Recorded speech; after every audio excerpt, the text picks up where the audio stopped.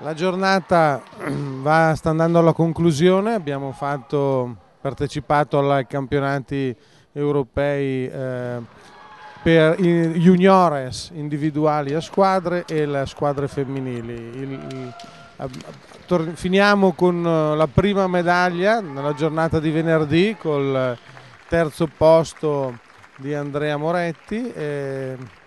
puntiamo per ad aumentare il bottino eh, sabato e domenica dove abbiamo le squadre maschili e abbiamo gli individuali sia maschili che femminili. Eh, la nostra speranza è di chiudere con almeno 3-4 medaglie. Eh, come presidente della federazione a me interessa soprattutto che facciamo una buona figura come immagine che diamo all'Italia. Poi ovviamente siamo qua, cerchiamo anche di portare a casa qualche medaglia. Vediamo domani come va a finire.